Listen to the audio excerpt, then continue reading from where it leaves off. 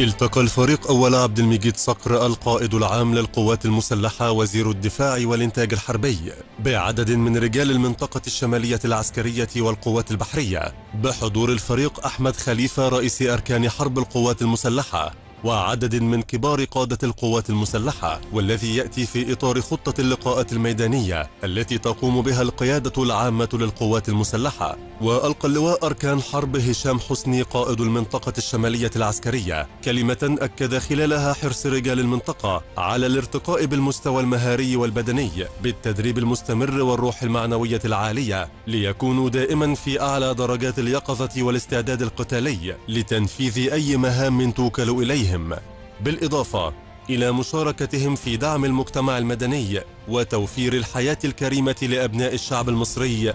بالتعاون مع كافة الأجهزة التنفيذية والجهات المعنية بالدولة ونقل الفريق أول عبد المجيد صقر. تحيات وتقدير السيد الرئيس عبد الفتاح السيسي رئيس الجمهورية القائد الأعلى للقوات المسلحة لكل من رجال المنطقة الشمالية العسكرية والقوات البحرية مؤكدا على ضرورة أن يكون رجال القوات المسلحة على دراية تامة بكل ما يدور حولهم من أحداث.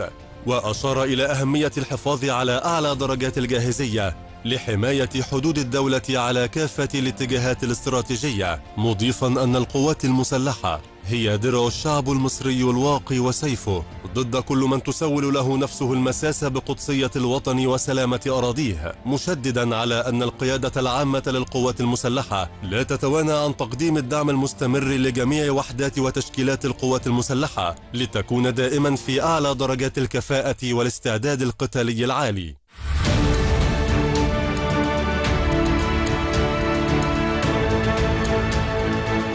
وفي سياق متصل قام القائد العام للقوات المسلحة بجولة تفقدية داخل القوات البحرية. استمع خلالها لشرح من الفريق أشرف عطوة قائد القوات البحرية عن الوحدات البحرية التي انضمت حديثا. والوحدات التي يتم تصنيعها بالإمكانيات الذاتية في الترسانة البحرية وبأياد مصرية وتعد إضافة تكنولوجية هائلة لإمكانات وقدرات القوات البحرية وتسهم في تحقيق السيطرة الكاملة على سواحلنا الممتدة بالبحرين الأحمر والمتوسط.